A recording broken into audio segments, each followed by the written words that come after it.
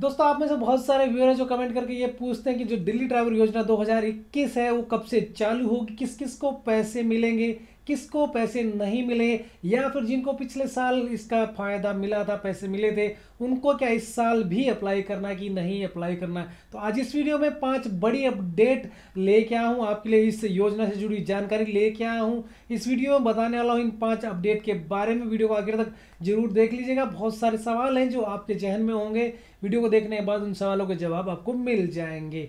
Hello दोस्तों, मेरा नाम है संदीप धर्रा। आप सब देख रहे हैं टेक बुद्धि आगे बढ़ने से पहले वीडियो को लाइक ज़रूर करें। चैनल पर अगर नए हैं तो नीचे लाल बटन सब्सक्राइब का जी हाँ दोस्तों, ये जो लाल बटन सब्सक्राइब का इसको ज़रूर दबा लें। आप सब भाई जो वीडियो देख लेते हैं, लेकिन चैनल को सब्सक्राइब करना भूल जाते हैं। मैं इस योजना से जुड़ी हर लेटेस्ट अपडेट जो आपके लिए लेके आता हूँ। एकदम एक्यूरेट डिटेल आपके लिए लेके आता रहता हूँ और विद प्रूफ लेके आता हूँ तो चैनल को सब्सक्राइब करना ना भूलें। अब बात कर लेते जो पाँच अपडेट आए, उनमें सबसे पहली अपडेट ये है कि जो कैबिनेट है, उसने जो मंजूरी दे दी है, पाँच हज़ार रुपये राशि देने के लिए, यानी जो दिल्ली में ड्राइव ड्राइवर भाई हैं, जो भी टैक्सी चालक हैं, जिनके पास बैच है या पीएसवी बैच होल्डर है, उनको जो है इस योजना का जो फ़ायदा मिलने वाला है।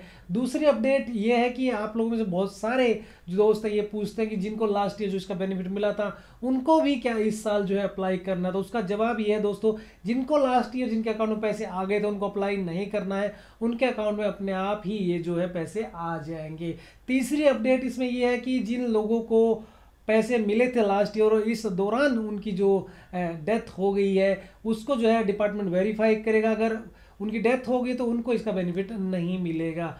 चौथी अपडेट जो है, इसके लिए जो जिन लोगों को पैसे नहीं मिले थे फ्रेश अप्लाई करना, उसके लिए जो है लिंक जो है सरकार की तरफ़ से एक दो दिन के अंदर जो है वेबसाइट के ऊपर लॉन्च होगा। जैसे ये लिंक लॉन्च होगा, मैं आपको इससे रिलेटेड वीडियो लेके आऊँगा। पांचवी जो अपडेट है दोस्तों, ये है कि ये जो योजना है, उन लोगों को मिलेगी जिनका पीएसपी बैच और लाइसेंस जो है, एक फरवरी 2020 तक एक्टिव है, यानी वैलिड है। उन सभी को इसका फ़ायदा मिलने वाला। साथ में जो ई रिक्शा वाले या पैरा ट्रांजिट जो व्हीकल है, उनके ड्राइवरों को इसका फ़ायदा मिलने वाला है। तो दोस्तों, आपने देखा कि ये पाँच बड़ी अपडेट मैं आज आपके लिए लेके आया था। वीडियो को लाइक करना ना भूलें। चैनल को अब तक सब्सक्राइब नहीं किया था तो ज़रूर सब्सक्राइब करें।